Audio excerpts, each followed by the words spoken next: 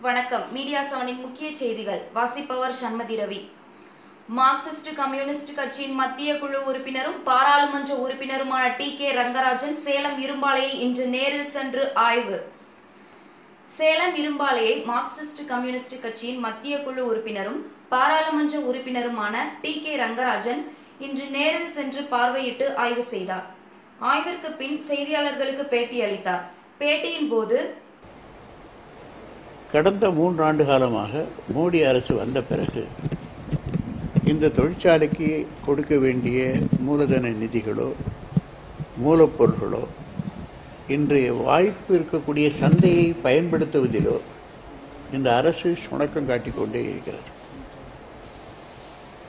மத்திய அரசினுடைய நித்தி ஆயோகும் மத்திய அரசும் இணைந்து சேலம் ஸ்டீல் பிளான்ட்டை தனியாருக்கு விற்பது என்கிற முறையில் முயற்சிகள் வேகமாக வந்து கொண்டிருக்கிறது.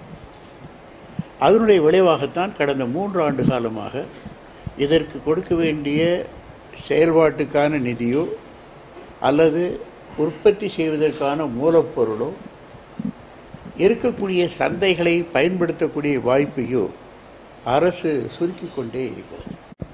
பொதுத்துறை என்பது இடஒதுக்கீட்டை உத்தரவாதப்படுத்துகிறது.